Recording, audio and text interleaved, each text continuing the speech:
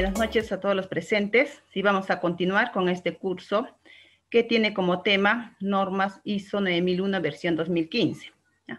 Para los que recién están ingresando, mi nombre es Sujei Kea, ¿sí? Yo soy ingeniero industrial y magíster. Bien, antes de iniciar quería darles algunas recomendaciones, ¿sí? Eh, las preguntas, por favor, al final a través del chat, ¿ya? Eh, y todos, por favor, con sus micros apagados, ¿sí?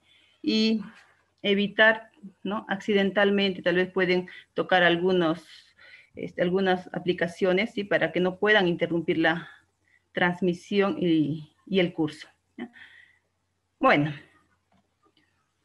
vamos a continuar con este curso. Ya estamos en el módulo número 2, Y ahora vamos a desarrollar los requerimientos de la ISO 9000 versión 2015. Pero vamos a recordar un poco qué es lo que hemos avanzado en el módulo anterior, así brevemente. ¿sí? No sé si ustedes recordarán ¿sí? qué es lo que hemos tocado en el módulo anterior. ¿sí? Pueden hacer sus, sus aportaciones a través del chat. ¿sí? Bien, mientras van realizando sus aportaciones, vamos a recordar brevemente qué es lo que hemos hecho.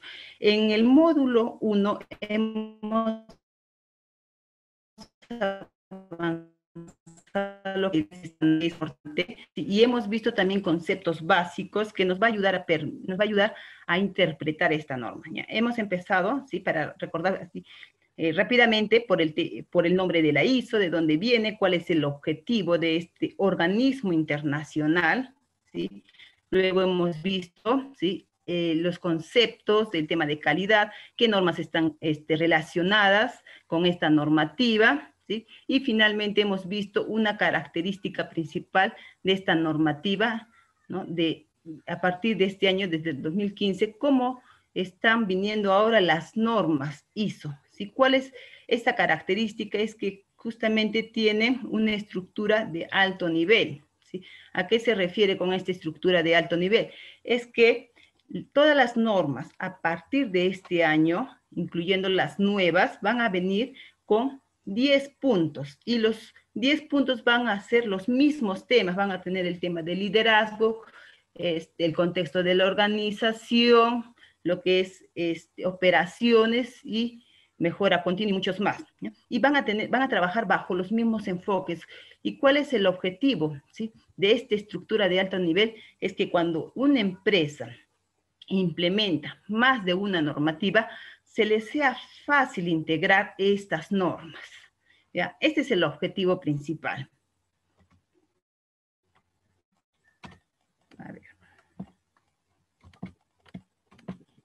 Bien, nosotros para analizar ¿sí? los requerimientos de esta normativa, que son prácticamente 10 puntos, y a partir de los requerimientos son a partir del punto 4.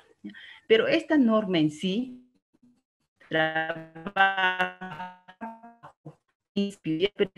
Por ejemplo, tenemos siete principios que son muy esenciales y que están relacionados ¿no? con los requisitos. estos principios tienen su base en los principios ¿sí? de los gurús de la calidad. En base a las aportaciones que han dado estos gurús es que se ha recopilado la información resultante que puedan ayudar a implementar adecuadamente un sistema de gestión de calidad. ¿sí? Y si bien ustedes tal vez recordarán acerca de los 14 puntos de Deming, ¿sí? Estos 14 puntos de Deming fueron la base principal para crear estos principios del sistema de gestión de calidad. ¿ya? Ahora, estos 14 puntos de, puntos de Deming, si ustedes los analizan, van a ver que hay una relación directa con los principios de esta normativa. ¿Cómo así? ¿Por qué? Porque estos principios hablan sobre el tema de la calidad, hablan sobre el enfoque al cliente, la mejora continua, que el personal debe estar involucrado, ¿sí? se enfoca también en los procesos. Entonces, hay mucha relación. Y si ustedes, ¿no? dentro de esta implementación incorporan, ¿no? Como una estrategia, primero los 14 puntos de Deming, los interpretan y los analizan y tienen ya ese enfoque para la implementación. Entonces se les va a hacer muy fácil el entendimiento de estos principios y la implementación en sí. Ahora, vamos a analizar estos principios. ¿sí? El primer principio que tenemos es el enfoque al cliente. Luego tenemos el liderazgo, el compromiso de las personas, el enfoque a los procesos, la mejora, la toma de decisiones la evidencia y la gestión de relaciones. En esta nueva versión tenemos siete principios, anteriormente teníamos ocho, ¿sí? se han hecho algunos ajustes, se han este, prácticamente eh, este, eh, se han juntado dos principios. Entonces vamos a analizar un poquito de estos principios. El primer principio, que es el enfoque al cliente, ¿sí? la característica en sí principal de este enfoque es que se deben cumplir los requisitos del cliente y en la medida de lo posible tratar de exceder las expectativas del cliente. Esto es lo que busca este enfoque, ¿sí? ¿A través de qué? A través de una confianza que se le va a generar al cliente, a través de la interacción entre el cliente y la empresa. ¿Esto para qué? Justamente para identificar cuáles son sus necesidades actuales y cuáles son sus necesidades futuras. Pero teniendo como principal al cliente, porque también incluye este, las partes interesadas. Ahora, ¿qué acciones debemos tener en cuenta para este enfoque hacia el cliente? Son las siguientes. Por ejemplo, nosotros debemos reconocer, ¿sí? ¿Quiénes son nuestros clientes? ¿Sí? ¿Quiénes son nuestros clientes? Pueden ser clientes directos, pueden ser clientes indirectos.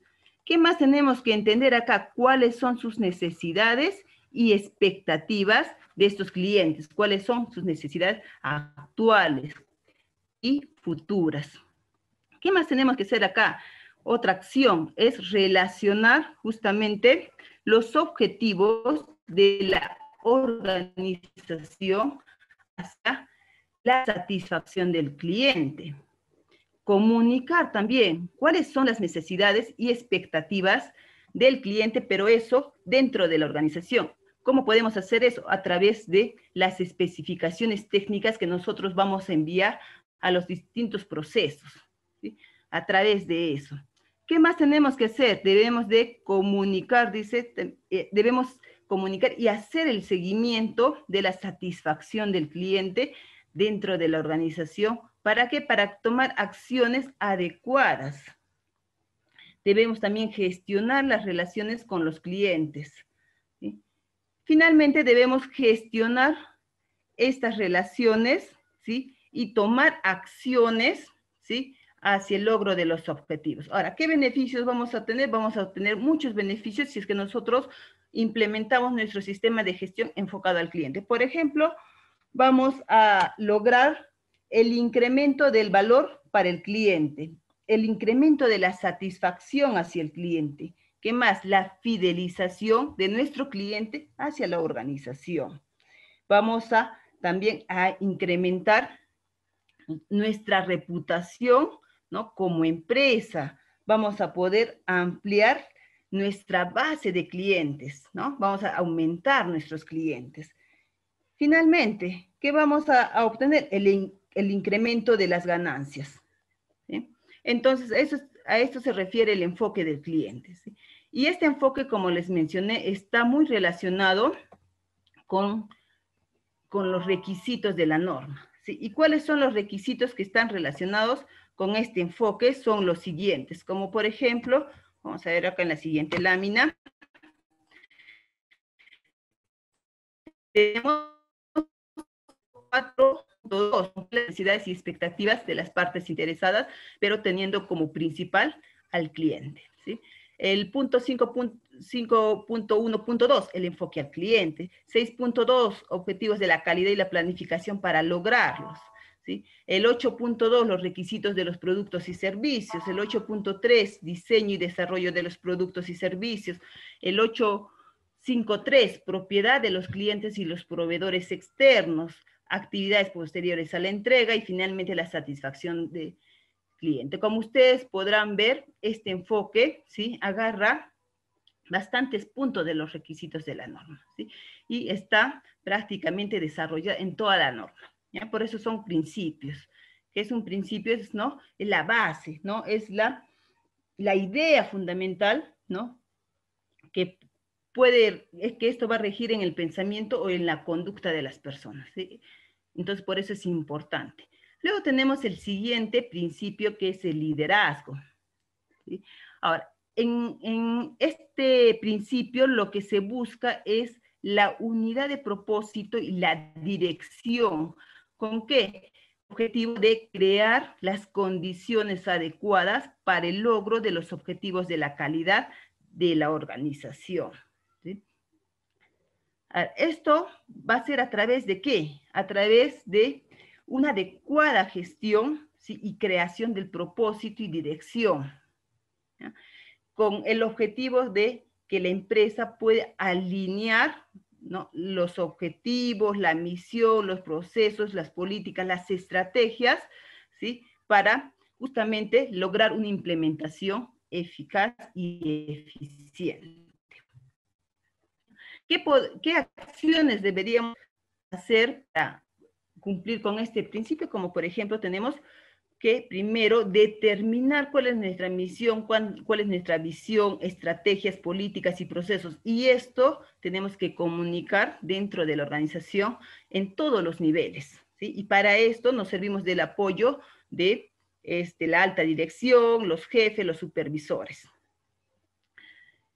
Luego debemos también eh, eh, mantener los valores, la imparcialidad y los modelos éticos dentro de la organización para generar que, para establecer una cultura de calidad dentro de la organización y que esta cultura transmita la confianza y la integridad entre los miembros de la organización. También otra acción que podemos hacer es fomentar el compromiso con la calidad, proporcionar los recursos es muy importante los recursos, la formación, la autoridad, las responsabilidades, quienes se van a encargar de cada, cada acción. Debemos a través del liderazgo también, otra acción es inspirar, fomentar y reconocer también la contribución de las personas que forman parte de la organización y que ayudan a la consecución de los objetivos.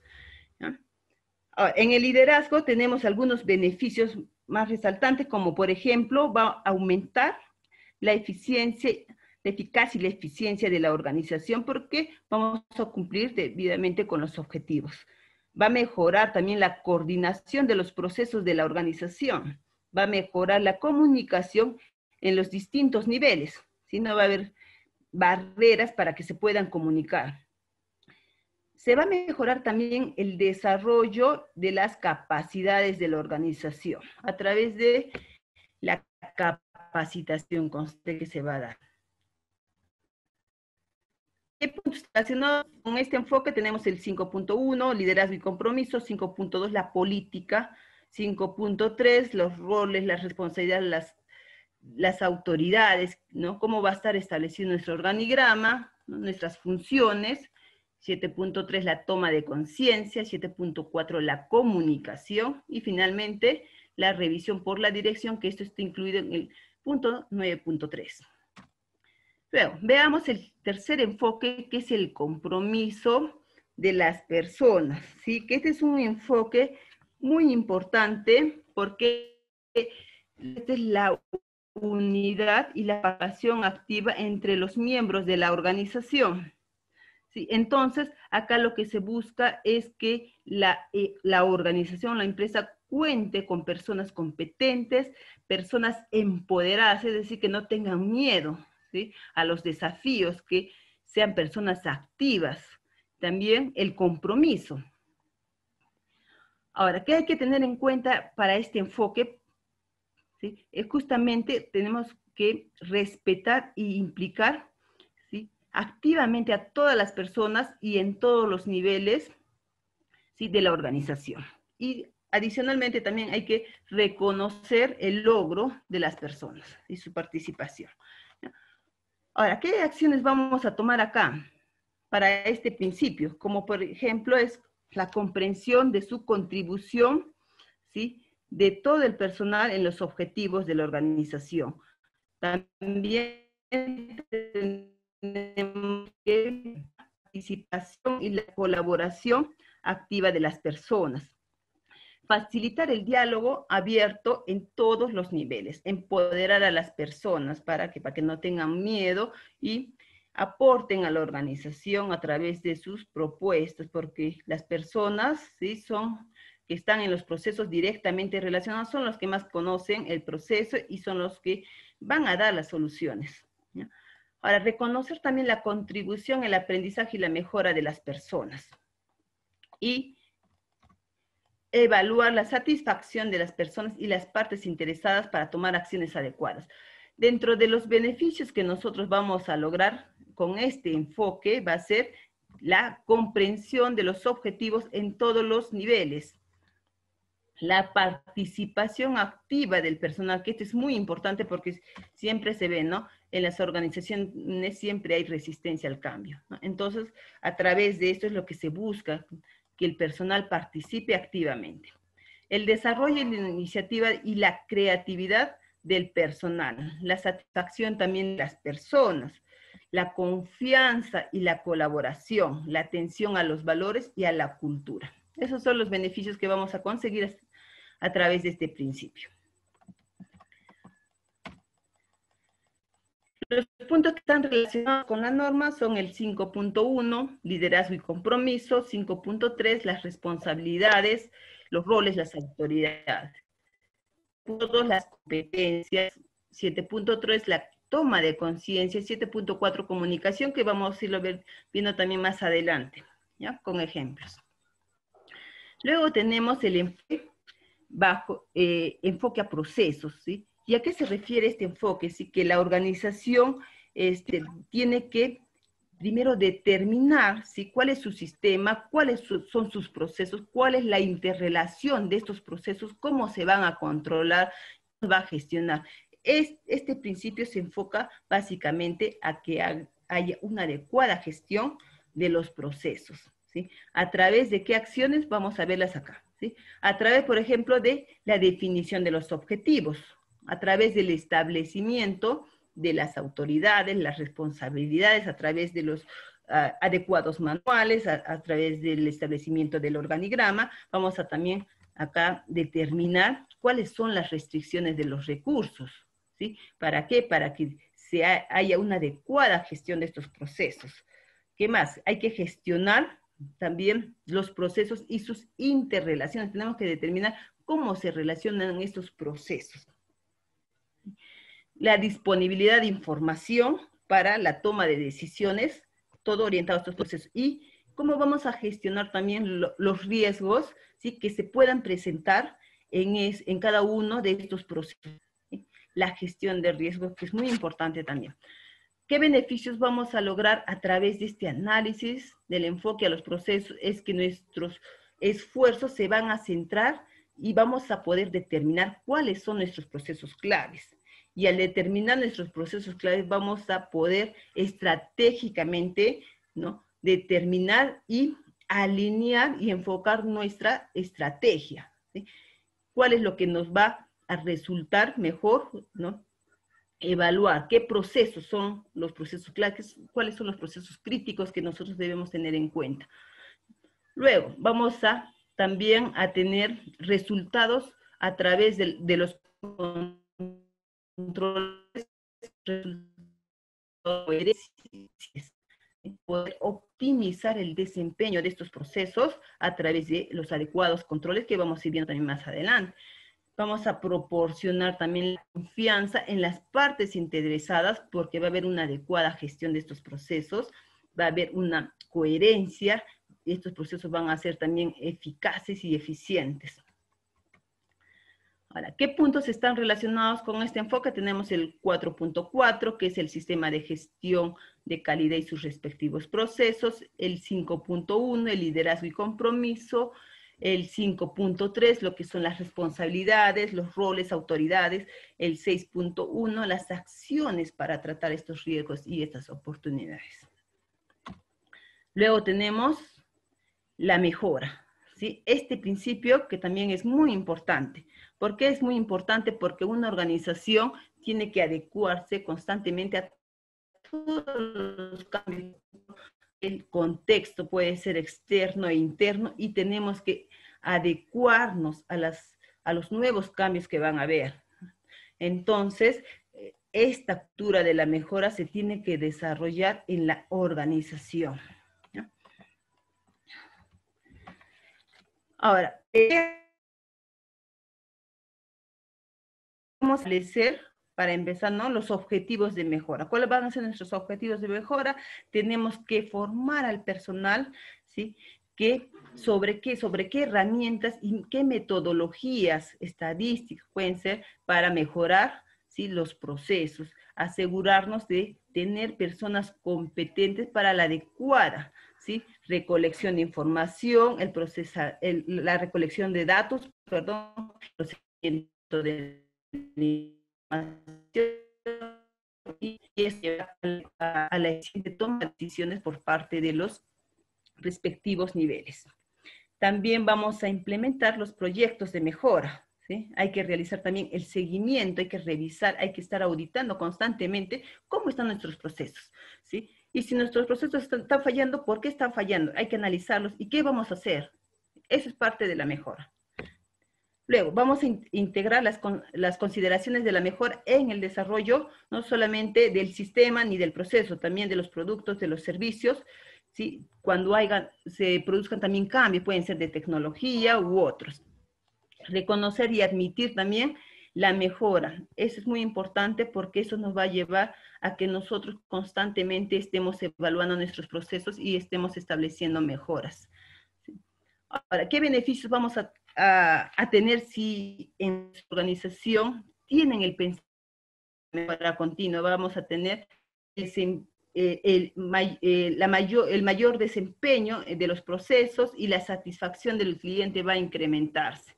¿sí? Vamos a tener también un enfoque en la investigación. ¿Por qué? Porque constantemente vamos a estar analizando los procesos, cómo podemos mejorar, dónde encontramos este, deficiencias, qué hacemos, vamos a estar investigando a qué se debió, ¿sí? Para que no vuelva a pasar en una próxima oportunidad. Entonces, eso es lo que también se va a desarrollar. Vamos a tener una capacidad también para que la empresa, a través de sus líderes, se pueda, ¿no es cierto?, anticipar, ¿sí? A los efectos negativos que pueda producir ¿no? alguna, en, algunos, en algunos de los procesos. ¿sí? Y vamos a poder también reaccionar frente a los riesgos y aprovechar también cuáles son las oportunidades que se nos presenta a través de esta gestión.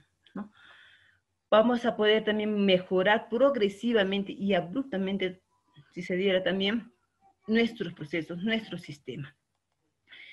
Y también va a mejorar el uso del aprendizaje, ¿sí? Porque va, eh, el personal que se va a involucrar va a conocer más los procesos, van a poder dar mejores ideas y el conocimiento sobre la organización, los procesos va a ser más, más, más, más, más creciente, ¿no? Entonces va a haber mayor aprendizaje, mayor conocimiento. También se va, va a ver el enfoque de la promoción hacia la innovación, ¿sí? Porque una vez que nosotros determinemos, ¿cierto? qué deficiencias hay en nuestros procesos, vamos a tener que mirar cómo podemos mejorarlo, qué, qué, recursos nos estarían faltando para estar en unos niveles más altos. Entonces vamos a orientarnos también por aquí hacia la innovación. ¿Qué puntos tenemos relacionados con la norma? Tenemos, por ejemplo, el 5.1, que es el liderazgo y compromiso, 5.2, la política, 6.1, las acciones para tratar los riesgos y las oportunidades. El 9.1, el seguimiento, la medición, el análisis y la evaluación. Vamos a también tener el punto de la mejora. ¿eh? Como ustedes pueden ver, está relacionado mucho con la norma y los principios. ¿ah? Ahora, veamos el siguiente principio, que es la toma de las decisiones basadas en la evidencia. Así que es una evidencia, es algo ¿no? que nosotros podemos visualizar. Entonces, ¿a qué, ¿a qué está enfocado más este principio? Al análisis y a la evaluación de los datos y la información que tienen mayor probabilidad de producir los resultados planificados previamente ya que también cuando nosotros analizamos los procesos nos vamos a encontrar muchas veces con procesos muy complejos. Entonces, eh, esto va a conllevar a que se cree una incertidumbre, ¿sí? De, eh, en cuanto a la información que nosotros mantengamos. Y nos va a ayudar, si nosotros aplicamos este enfoque, justamente a tomar mejores decisiones, pero en base qué? En base a, a evidencias, que son los datos, ¿no?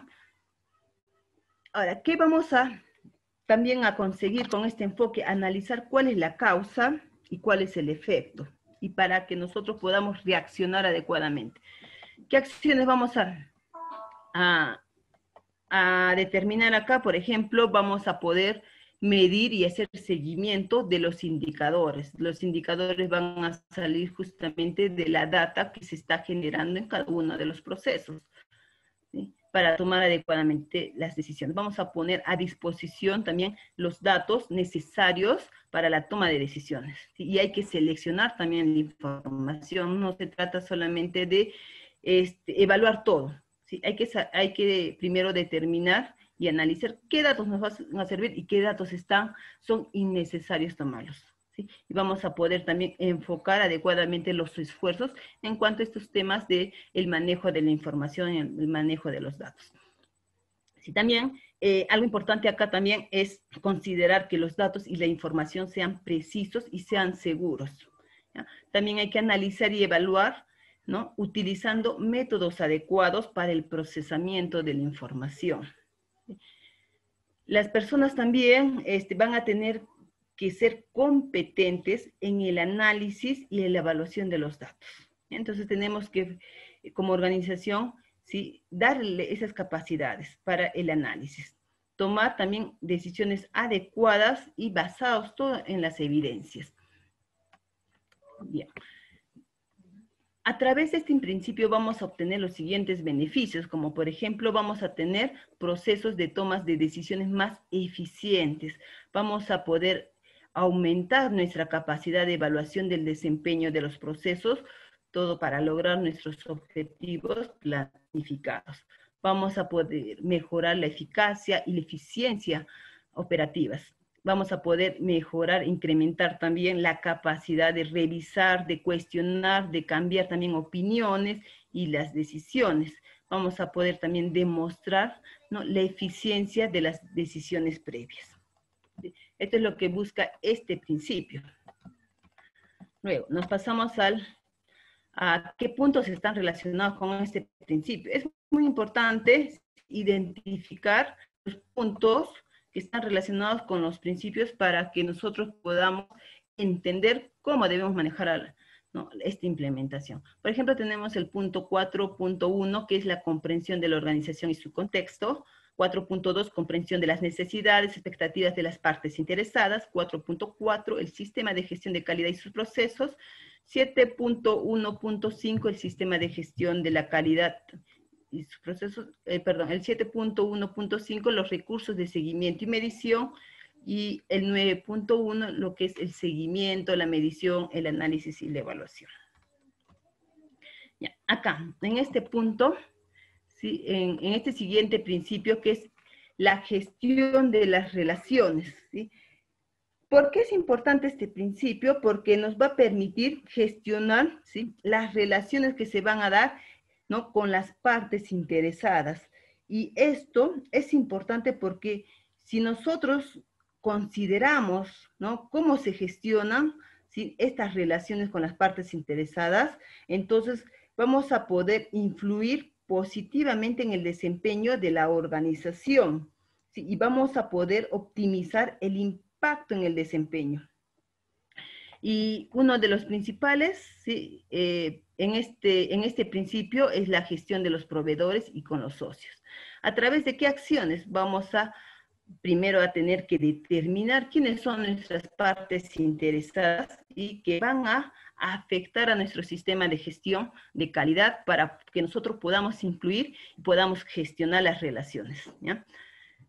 Establecer las relaciones que se equilibren las ganancias. ¿Qué más? Vamos a tener que reunir y compartir también la información, las experiencias, los recursos con las partes interesadas.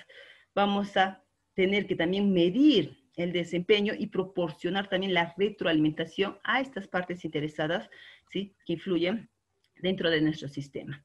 También es importante las actividades de desarrollo y mejoras colaborativas y reconocer las mejoras y los logros de los proveedores y de los socios. Con esta gestión de las relaciones, nosotros vamos a poder conseguir los siguientes beneficios. Por ejemplo,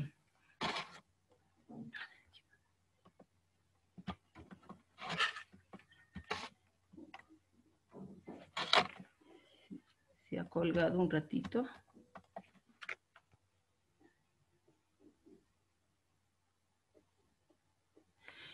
Por ejemplo, nosotros vamos a poder este, aumentar el desempeño de la organización y por consecuencia también de las partes interesadas.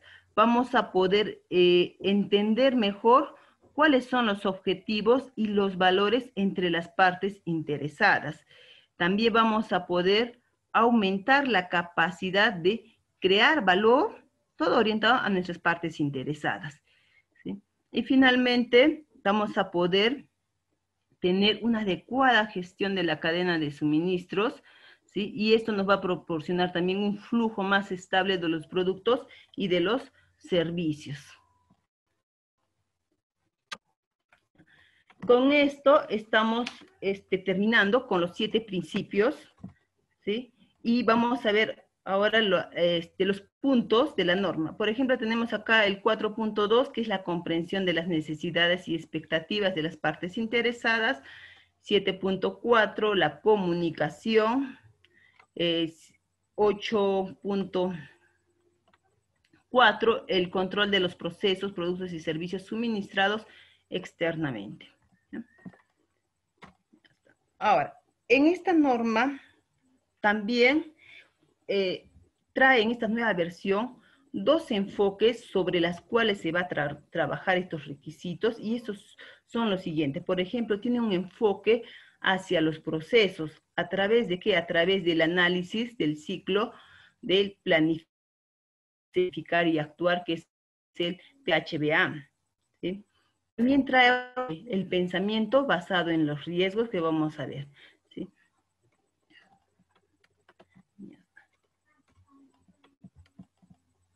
Veamos el primer enfoque, que es el enfoque basado en los, en los procesos. Este enfoque se orienta en la planificación e interacción de los procesos de una organización y esto permite justamente asegurar de que los procesos ¿sí?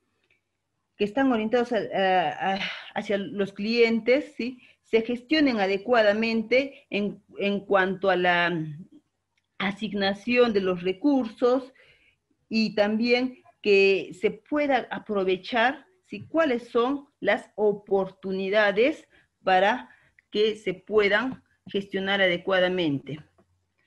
También este, este enfoque lo que busca es la comprensión y la coherencia en el cumplimiento de los requisitos, la consideración de los procesos en términos de valor agregado, el logro del desempeño eficaz y la mejora de los procesos. Ahora, este enfoque basado en procesos consta de entradas y de salidas. Como ustedes podrán ver acá en la lámina, ¿sí? tenemos un proceso. ¿sí? ¿Cuáles son las características o los elementos de estos procesos? Son entradas y salidas y el proceso en sí donde se van a desarrollar las actividades y estos van a estar este, divididos en procesos estratégicos, en procesos principales y procesos de apoyo, ¿sí? Que en este caso es de, el ejemplo que podemos ver acá son de instalaciones eléctricas, Y sus procesos principales son lo que forman parte de su cadena productiva, que tenemos, por ejemplo, acá atención al cliente y las instalaciones.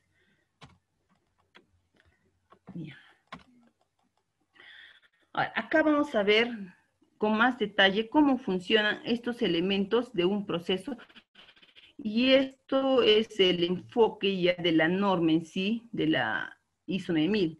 Entonces, los elementos de un proceso están compuestos por los siguientes. Tenemos acá en la parte central, que son las actividades. Nuestras actividades, que es un proceso en sí, es, esta representación es un proceso y este proceso tiene un punto de inicio y un punto final. Entonces, también tiene otros elementos como por ejemplo son las entradas y las salidas.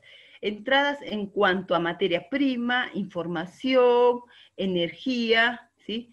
Y también tiene las fuentes de entrada, que van a ser, también pueden ser nuestros proveedores internos, son otros procesos también, ¿sí? Que van a eh, funcionar como entradas para el desarrollo de las actividades. Y acá tenemos, por ejemplo, los, los procesos precedentes, pueden ser los proveedores, pueden ser este, los clientes, pueden ser también otras partes interesadas y hay que tener en cuenta, ¿sí? Estas entradas que nos van a, eh, una vez que identificamos cuáles son esas, qué nos van a proporcionar, qué información. Luego tenemos acá las salidas.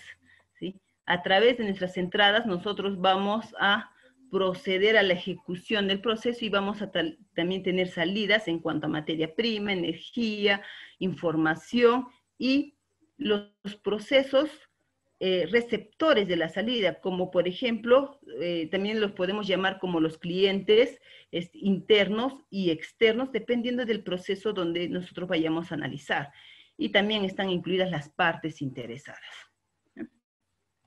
Ahora, una vez que nosotros tenemos, nos este, identificados cuáles son nuestras entradas, cuáles son nuestras salidas, también hay otro componente principal que es los controles, los puntos de control. ¿sí? Nosotros tenemos que determinar en nuestro proceso dónde van a ser nuestros puntos de control, dónde vamos a controlar. Podemos controlar, por ejemplo, en las entradas, ¿no? Puede ser tal vez un control respecto a la materia prima, un control también respecto a la información a través de una orden de, producción. ¿sí? Al final también dentro del proceso podemos establecer, ¿no? qué controles se van a realizar, ¿no? Dependiendo del proceso, puede ser peso, puede ser dimensiones, etc. Y también dentro del proceso, ¿sí? Dentro de la cadena, ¿qué vamos, dónde van a estar nuestros puntos críticos para que nosotros podamos controlar. Eh, esto es lo que se refiere a los elementos del proceso y que tenemos que tener en cuenta para que nosotros este, podamos hacer una adecuada gestión de los procesos. Identificar primero cuáles son nuestros procesos y de cada proceso ver ¿no? cuáles son sus elementos, entradas, salidas, punto de inicio, punto final y qué controles vamos a aplicar a estos procesos.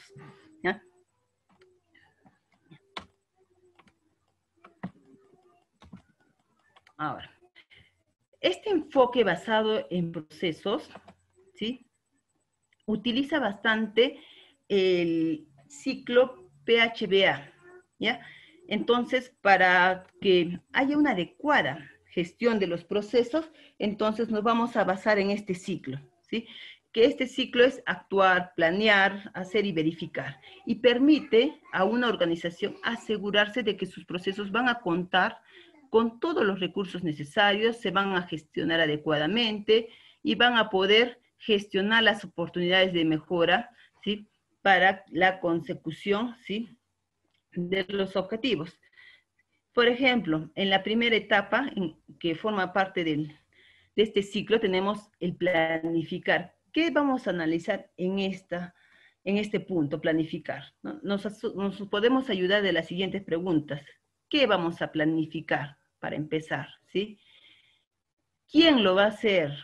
¿Cómo lo va a hacer? ¿Cuándo lo va a hacer? ¿Por qué se va a planificar? ¿Para qué se va a hacer esta planificación?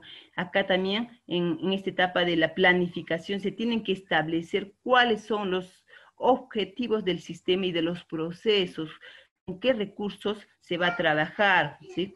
Y proporcionar los resultados de acuerdo con los requisitos del cliente y políticas, también identificar y abordar los riesgos y las oportunidades. Entonces, en base a esto, ¿sí? nosotros tenemos que gestionar la planificación.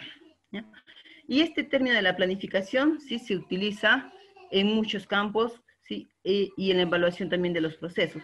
Luego, una vez que ya nosotros hemos planificado, pasamos a la siguiente etapa que es el hacer, que es prácticamente la ejecución de lo que nosotros hemos planificado.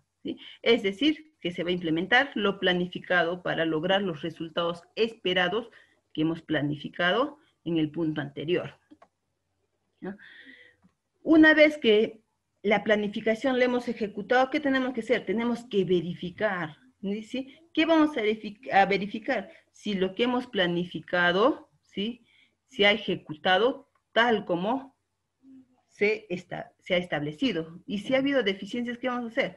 Tenemos que tomar acciones. Entonces, luego viene la etapa del verificar, donde se va a realizar el seguimiento y la medición de los procesos de los productos y servicios resultantes respecto a las políticas, respecto a los objetivos, respecto a los requerimientos y a las actividades planificadas e informar también los resultados. Una vez que nosotros ya obtengamos la situación, ¿no? Eh, en, en, cuanto a información de cómo ha funcionado nuestros procesos, ¿qué vamos a hacer el siguiente paso? Actuar actuar en cuanto a, las desviaciones. ¿no? Vamos a tener que tomar acciones para mejorar el desempeño ¿sí? cuando sea necesario y seguidamente, una vez que nosotros acá en el actuar vamos a establecer y definir ¿sí? qué planes vamos a actuar, qué planes vamos a desarrollar para que no vuelva a pasar esta ocurrencia. Entonces, de nuevo vamos a continuar con la planificación, ¿no? ¿Qué vamos a planificar para que ese plan funcione? ¿Qué tenemos que hacer? ¿Qué recursos vamos a necesitar? ¿Quién lo va a hacer? ¿En qué tiempo? Entonces va a seguir de nuevo el ciclo, ¿sí? Por eso es en esa forma. Ahora, vamos a, a pasar a la siguiente diapositiva. Este, este esquema representa justamente cómo se debe gestionar los procesos bajo el enfoque de esta norma, la ISO 9001. ¿sí? Entonces, esto ha cambiado respecto a, la normativa anterior, porque anteriormente este, teníamos el cliente como entrada y como salida también el cliente, pero ahora ya no, porque ahora se incluye el término de las partes interesadas. Entonces, hay que considerar las partes interesadas dentro de las entradas y dentro de las salidas. ¿sí?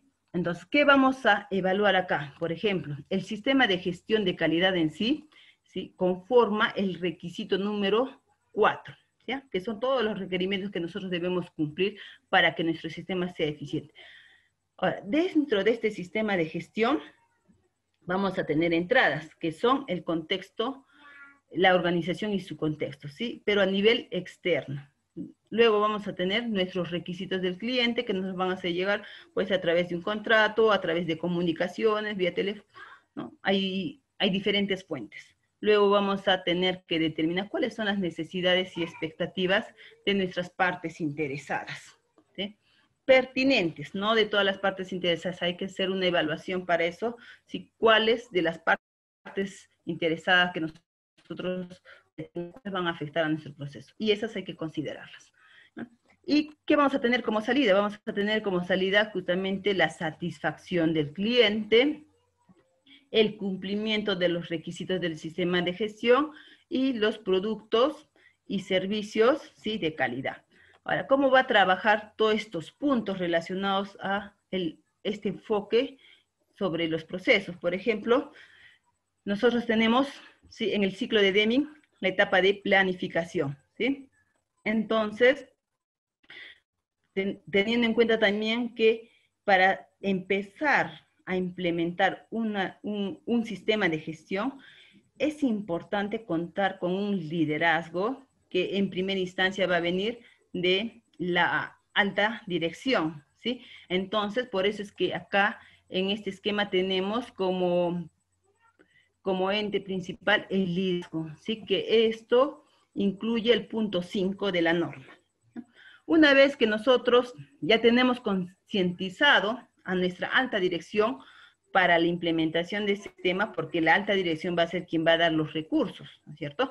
Entonces, de, una vez que tenemos ya involucrado a la alta dirección a través del liderazgo, entonces vamos a proceder a la planificación, cómo vamos a desarrollar la lección, ¿sí? E, y implementación, eh, la planificación incluye también lo que, los puntos 7 eh, y 8, ¿sí? Que es eh, dentro de la planificación.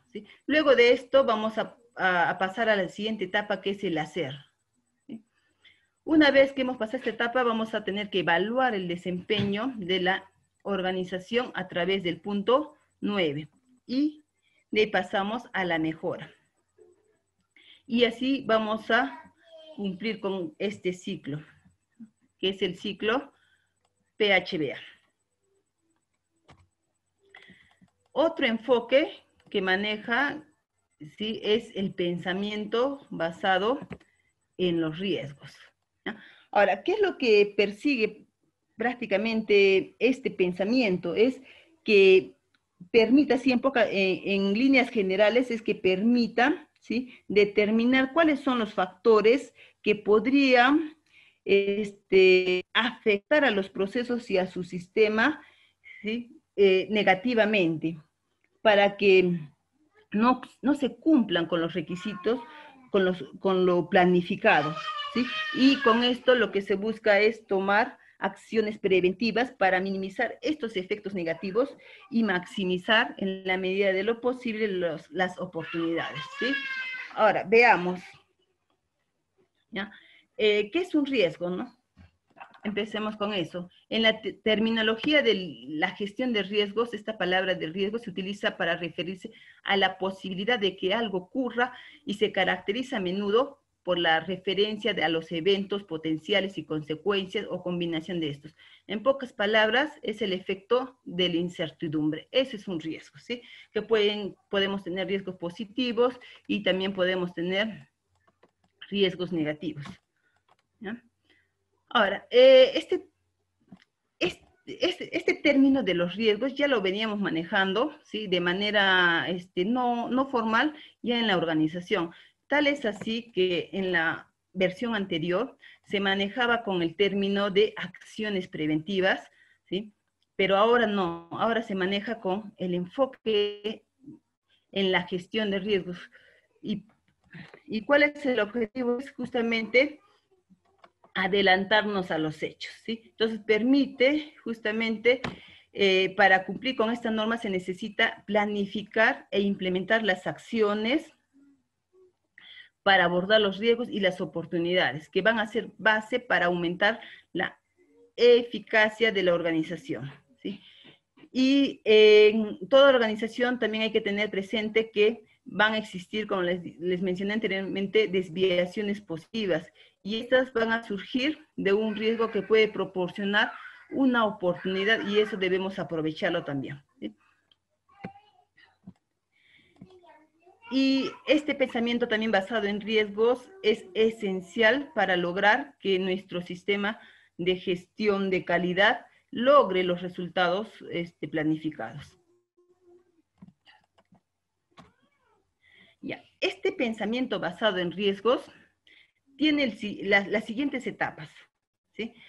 Primero, tenemos que tener un compromiso de la alta dirección. Como ustedes ya este, habrán notado, se necesita bastante el compromiso de la alta dirección. Si la, si la alta dirección no está concientizada y no participa, no se puede hacer mucho para eh, eh, tener un una adecuada implementación. ¿sí? Entonces necesitamos, eh, como primer paso, tener el compromiso de la alta dirección.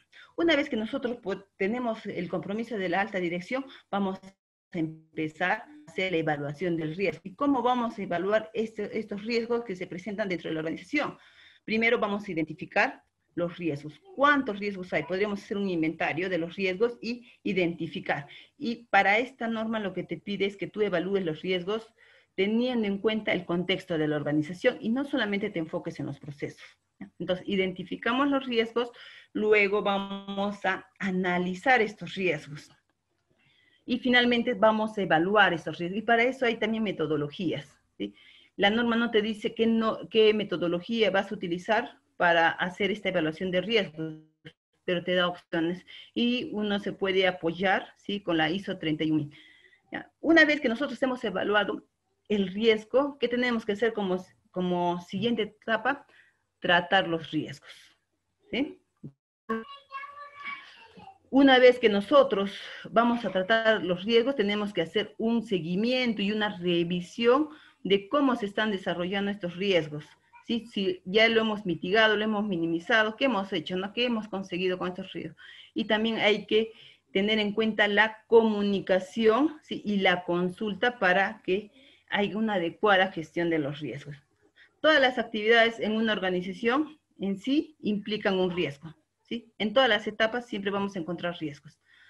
Ahora, las organizaciones van a gestionar el riesgo mediante su identificación y análisis. Podemos tener riesgos este, incluso que pueden provenir por las partes interesadas, ¿sí? por, los diferentes procesos, por el proceso estratégico, el operativo, el apoyo, ¿sí? por todo el sistema pueden salir estos riesgos.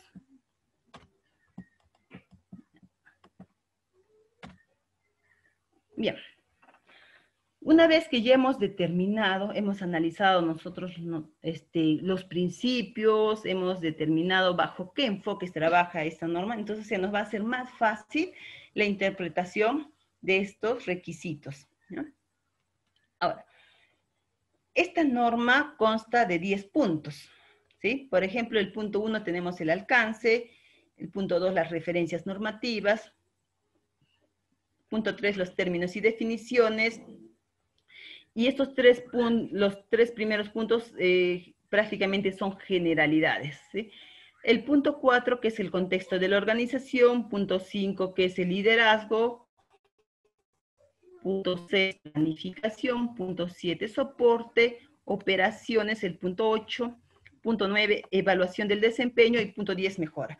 Entonces, a partir de qué punto nos va, en qué punto nos vamos a, fijar para una adecuada implementación a, partir del punto 4. ¿sí? Es a partir de este punto que nosotros vamos a hacer el diseño de nuestra implementación.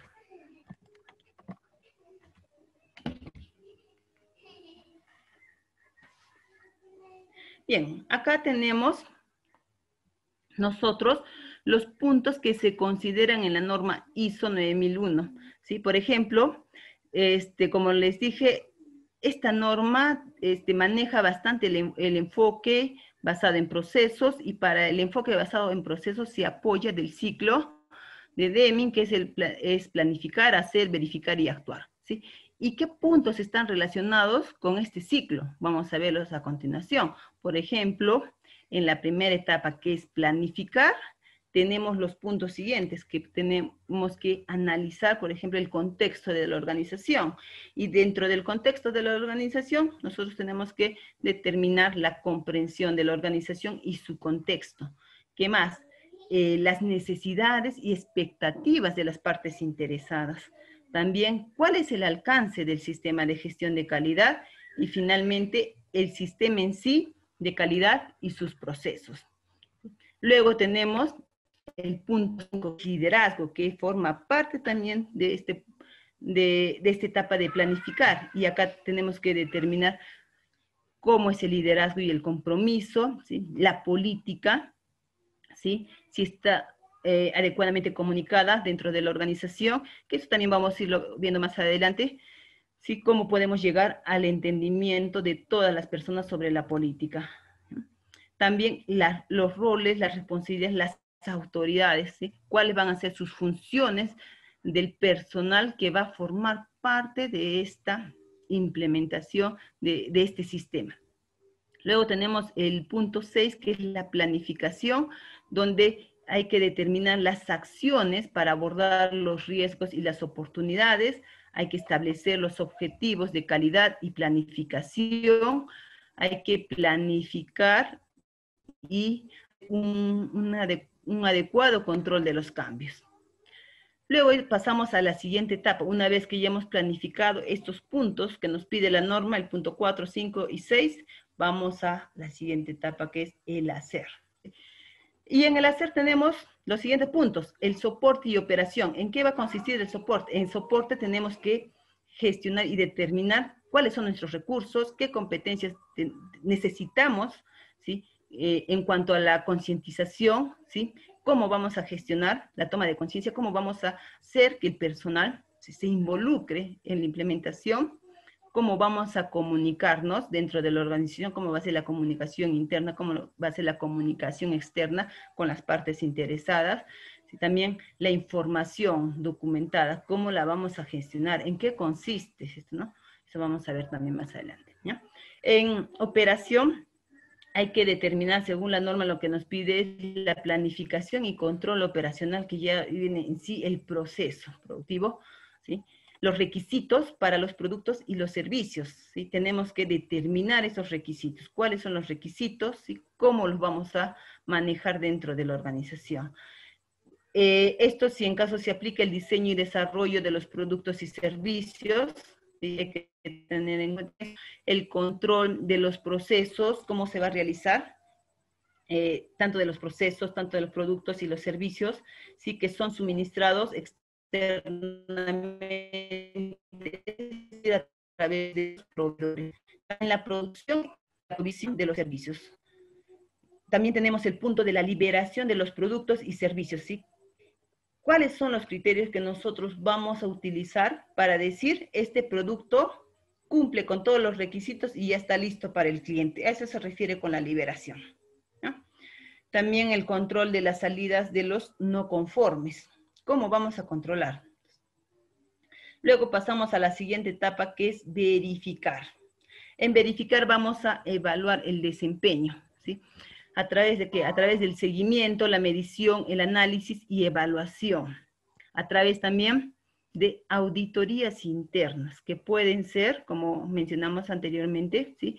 por los miembros de la organización, o pueden también este, recurrir a, un, a, a, un, a una organización externa para que le haga las auditorías internas. Pero son auditorías internas que eh, normalmente se desarrollan una vez al año, dependiendo también de cómo esté el sistema, o puede ser también dos veces al año.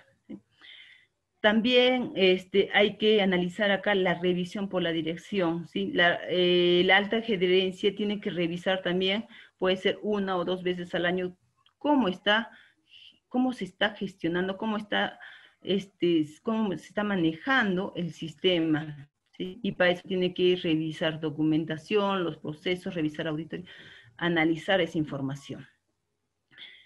Finalmente tenemos la última etapa que es actuar, que es el punto de la mejora, el punto 10, ¿sí? donde eh, se va a analizar las no conformidades y las acciones correctivas y la mejora continua. Entonces, estos son los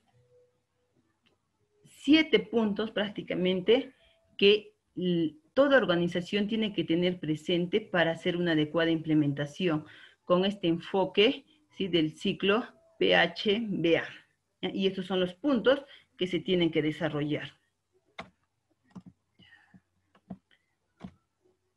Ahora, dentro de la norma, eh, es importante tener en cuenta estas formas verbales, ¿sí? que siempre van a aparecer dentro de los requisitos. Y, por ejemplo, tenemos acá el debe, y donde dice. Eh, los puntos decir, la organización debe, la organización. Entonces, cuando encontremos nosotros esta palabra debe, nos va a indicar que significa un requisito, que sí o sí la organización tiene que implementarlo. Ahora, cuando nosotros encontramos dentro del desarrollo de los requisitos la palabra debería, esto nos va a indicar que es una recomendación, más no es un requisito, que la empresa podría hacerlo. Puede, también podemos encontrar, y que nos va a indicar que es un permiso, una posibilidad o una capacidad que podría tomarlo en cuenta la organización. Bien, entramos entonces ahora a analizar los requisitos. Una vez que ya hemos analizado ¿no? Para este, implementar estos requisitos era que teníamos que tener presente los principios, ¿sí? ¿Qué más teníamos que tener presente? Los enfoques, ¿no? Los dos enfoques, el enfoque, este, el, enfoque eh, basado en los procesos, el enfoque basado en los riesgos. ¿ah? vamos a analizar, ¿sí? Con estos, estos puntos, los requisitos. Dentro del punto 4 tenemos el contexto de la organización.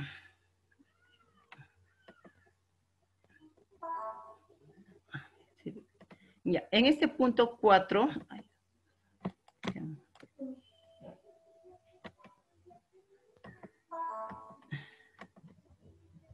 ya, en este punto, lo que hay que tener en cuenta es que la norma no te da eh, o no te, no, te, no te exige que cómo lo vas a hacer, cómo vas a hacer tú el análisis de la organización. ¿sí? Lo pone más que todo este, a criterio de la organización, como dijimos, todas las empresas no son iguales, tienen diferentes este, características, capacidades, ¿sí?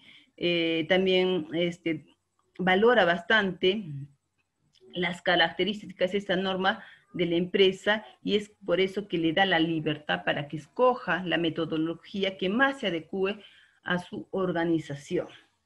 Pero sí te dice que debes de realizar este análisis. ¿Cómo? No te dice, pero uno ya puede más o menos este, ver, ¿no? ¿Cuál se adapta más? ¿Qué metodología más se, se adecua para este análisis? Entonces, en el contexto de la organización, ¿sí? es el proceso que va a determinar cuáles son nuestros factores internos y factores externos que van a influir en el propósito, en los objetivos y la sostenibilidad del sistema de gestión. ¿Y de qué va a contener este punto? Va a contener la comprensión de la organización y su contexto, comprensión de las necesidades y las expectativas y las partes interesadas, de las partes interesadas, la determinación del alcance del sistema de gestión de calidad, el sistema de gestión en sí y sus procesos. Por ejemplo, en el contexto de la organización, nosotros prácticamente tenemos que tener como entrada nuestra misión, cuál es nuestra visión, tenemos que definir este, la política de calidad y en base a la política nosotros vamos a establecer cuáles van a ser nuestros objetivos del sistema y vamos a determinar en base a los objetivos qué metas esperamos. Entonces, estas entradas también que incluyen también los valores, el análisis interno, el análisis externo de la organización, van a ser entradas y van a formar parte de nuestra planificación estrategia, ¿sí? para que nosotros establezcamos qué estrategia se adecua más a, nuestra organización y que podríamos utilizar para que nuestro sistema funcione. Una vez que nosotros tengamos establecida bajo qué estrategias vamos, vamos a utilizar, entonces de ahí van a partir los planes de acción, ¿sí? Que, y los proyectos también. Y de los planes vamos a poder determinar quién lo va a hacer, en qué fecha, cuáles son los recursos que necesitamos. Ya es más que todo la parte operativa. Pero esta es la secuencia, ¿sí? Nosotros, en base a nuestra planificación, eh, teniendo en cuenta nuestra planificación estratégica, vamos a desarrollar la estrategia y, las, y los planes de acción. ¿Qué vamos a en el contexto de la organización, tenemos que analizar cuáles son los factores internos y los factores externos que van a influir en nuestro sistema de gestión. Entonces, por ende, eh, e, este análisis nos va este, a direccionar hacia nuestra estrategia. ¿sí? Y también eh, hay que tener en cuenta que debemos realizar el seguimiento y la revisión de la información constantemente. ¿Y qué va a conformar este análisis interno y externo? Por ejemplo, en, este gráfico nosotros tenemos la empresa, ¿sí? Tenemos la empresa con su estructura propia de, la organización, tenemos su cultura, tenemos sus recursos. Eso es el análisis interno, ¿sí? Que nosotros tenemos que analizar. Una vez que nosotros eh, tenemos el análisis interno, hay que analizar el análisis externo.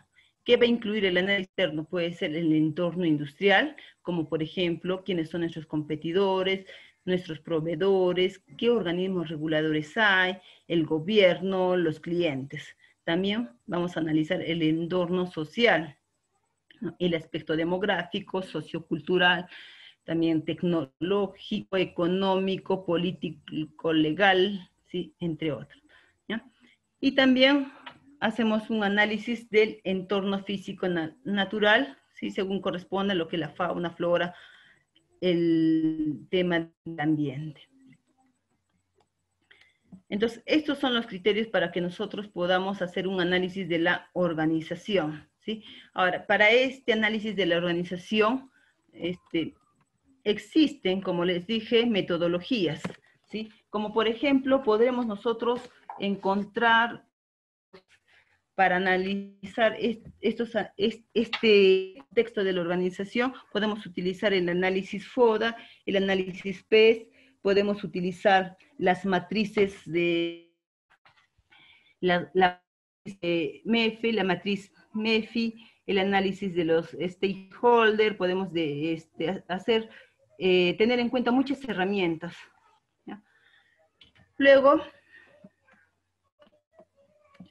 vamos a, determinar ¿sí? en el 4.2 la comprensión de las necesidades y las expectativas. Aquí, ¿qué vamos a, determinar? vamos a determinar?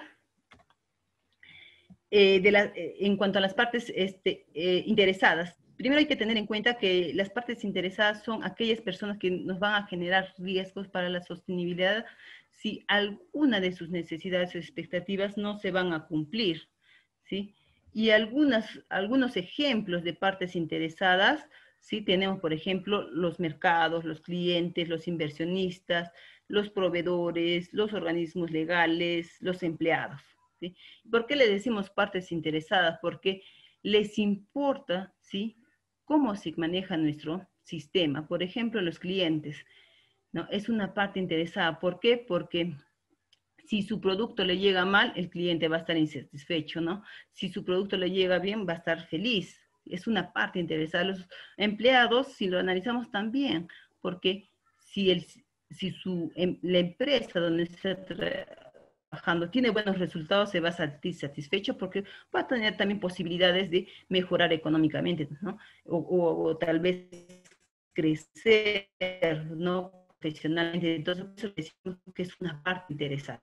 Y puede influir en el sistema, por ejemplo, los, empleados sí pueden influir en, su sistema porque un bajo rendimiento ¿sí? de los empleados, ¿qué va a pasar? ¿Sí? El sistema va a tener deficiencias, pero un buen desempeño va a ayudar a que se consigan los objetivos de la organización. Ahora, para de, acá lo que nos pide la norma es que se debe determinar cuáles son las partes interesadas pertinentes, ¿sí?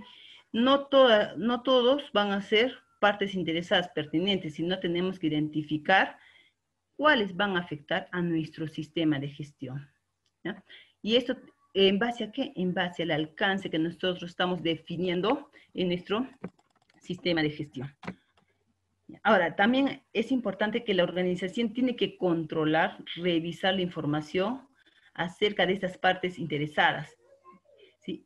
en cuanto a sus requisitos y expectativas. ¿Cuáles son sus requisitos? ¿Cuáles son sus expectativas? ¿Qué es lo que esperan? Y esto hay que tenerlo en cuenta para que nosotros hagamos una adecuada planificación. Ahora, hay que tener en cuenta también en, en las partes, para nosotros este, podamos identificar quiénes son nuestras partes interesadas, es la influencia que tienen estas partes para impedir o impulsar la actividad de la empresa. Como también lo podemos identificar, ¿sí? Hay que tener en cuenta también aquellos con los que la empresa tiene una responsabilidad legal, operativa o fiscal. También las zonas donde la empresa va a interactuar, ¿sí? Por ejemplo, si es una empresa que produce contaminación ambiental, ¿sí? y si hay casas alrededor, tiene que tener en cuenta eso, ¿cierto? ¿Quién más puede ser partes interesadas? ¿Cómo lo podemos identificar? También están dentro de las partes interesadas los clientes, los proveedores. Y finalmente, considerar aquellas personas que tienen una representación clara de los grupos de interés. Entonces, en base a estos cinco criterios, nosotros podemos identificar cuáles son las partes interesadas de la organización. Luego, en el punto 4.3 tenemos este, la determinación del alcance del sistema de gestión de calidad. Y acá nosotros este, vamos a definir prácticamente cuáles son los límites y la aplicabilidad del sistema de gestión de calidad que nosotros vamos a implementar. Y debemos considerar cuáles son estas cuestiones internas y externas dentro de nuestro alcance. ¿sí? Los requisitos también de las partes interesadas y cuáles van a ser nuestros productos y servicios, ¿sí? Que la organización ¿sí? Es, eh, va a desarrollar, pero que estén dentro del alcance. ¿sí? Como dijimos anteriormente, cuando uno quiere implementar la ISO, no necesariamente va a ser para toda la organización. ¿sí? Puede definir una línea de producción. Entonces, cuando yo defino una línea de producción, ¿sí? entonces ya estoy determinando el alcance. Entonces, cuando a mí me vengan a auditar, mi otra línea no forma parte del alcance, entonces no me van a hacer auditorías de la otra línea, solamente en la que yo estoy determinando, estoy definiendo dónde voy a este. Esto alcance, los límites. límites. Dentro de estos límites, ¿qué es lo que, sí? En cuanto análisis interno, externo, partes interesadas, productos y servicios, pero dentro de este alcance.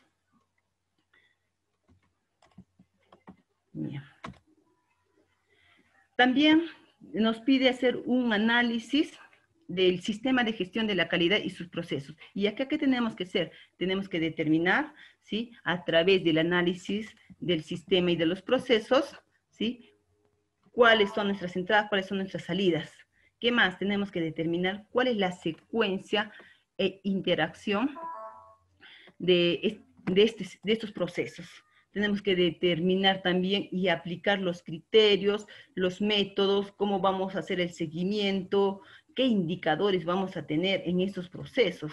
¿sí? Porque nosotros para analizar un proceso hay que tener en cuenta eso, ¿no? ¿Cuáles son nuestras entradas, cuáles son nuestras salidas, qué controles vamos a hacer, el seguimiento cada cuánto tiempo lo vamos a hacer, qué indicadores vamos a establecer acá, qué recursos necesitamos, qué información vamos a generar, qué tipo de recursos necesitamos, qué tipo de personal, necesitamos un personal competente, en qué, ¿no? en qué puntos, ¿sí? Entonces, todo eso es la gestión de los procesos y la, lo que es la gestión del sistema en sí. Entonces, eso es lo que tenemos que determinar.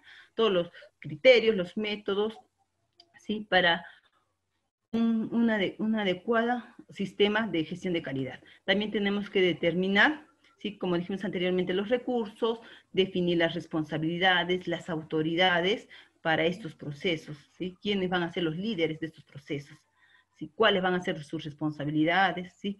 cuáles son las competencias que debe tener ese personal, abordar también los riesgos, las oportunidades, evaluar, también implementar cualquier cambio que sea necesario y mejorar los procesos y el sistema de gestión en sí. Acá tenemos un ejemplo de los procesos. Por ejemplo, este es un proceso simple, ¿no?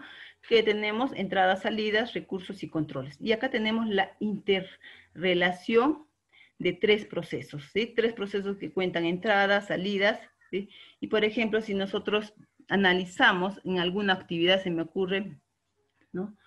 En el proceso A, ¿sí? que nosotros vamos a, procesar, se me ocurre este, sacos de polipropileno, ¿sí? Entonces tenemos de materia prima el polipropileno, va a ser nuestra entrada, ¿no?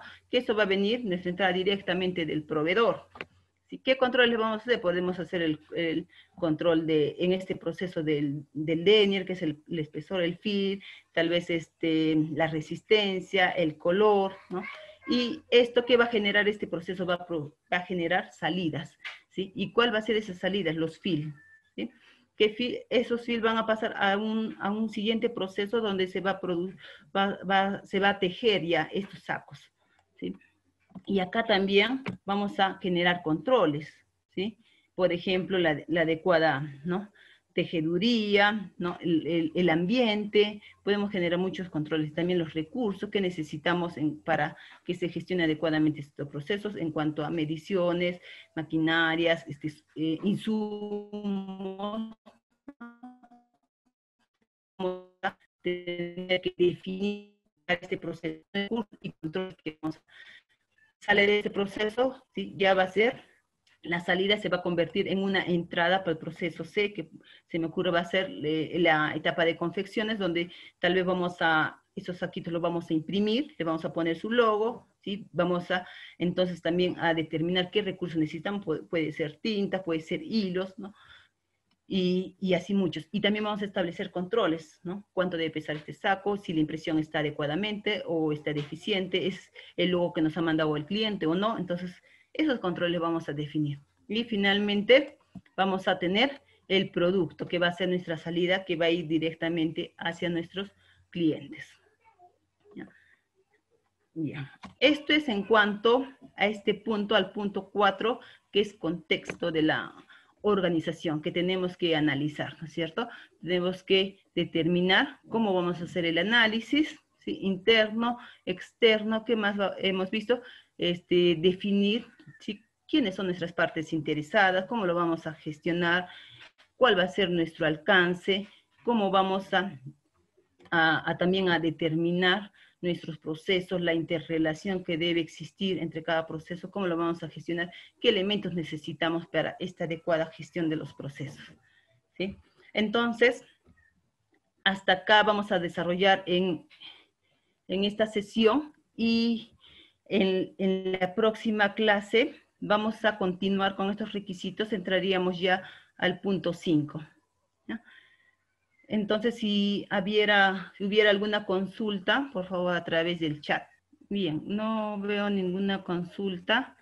Entonces, si tuvieran, podrían hacerla en la siguiente sesión, porque todavía nos faltan dos sesiones. ¿Ya? Entonces, por lo que veo, entonces está claro hasta ahí el tema, pero también igual en la otra sesión vamos a ir jalando siempre algunos puntos que son más importantes para reforzar estos temas. No habiendo entonces consultas, me despido de ustedes, que tengan... Muchísimas gracias, ingeniera Queda, por su participación. Nos vemos en el módulo del próximo sábado.